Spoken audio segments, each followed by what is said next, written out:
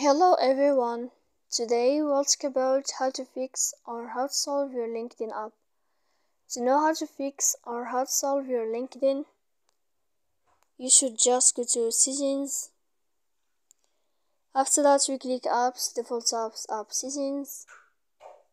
Here in this page, you will enter to the window of LinkedIn app. When you'll find this list of app info, we click on uh, force stop and we click OK. Here we'll enter to the window of storage. After that, we click clear cache. And in the end, you can go to Play Store.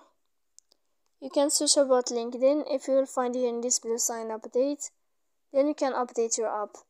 So please don't forget to support us by like and uh, subscribe. See you next time in another video and thank you for watching.